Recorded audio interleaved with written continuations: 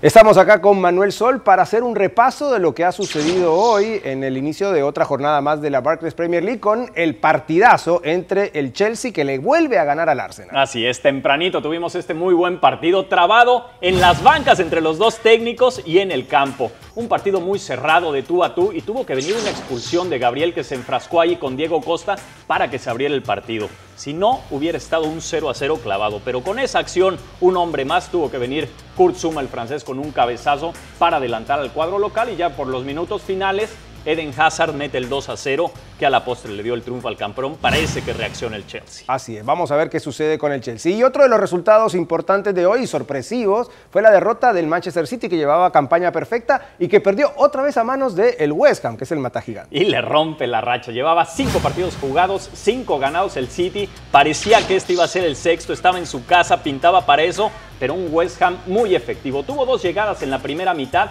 y las dos la mandó a guardar. Después reacciona en los minutos finales del primer tiempo con un muy buen gol de De Bruyne, pero en la segunda mitad, por más que atacó, estuvo muy bien el guardameta Adrián del West Ham y se lleva una victoria de visita muy valiosa. Bueno, ¿es el renacer del Chelsea?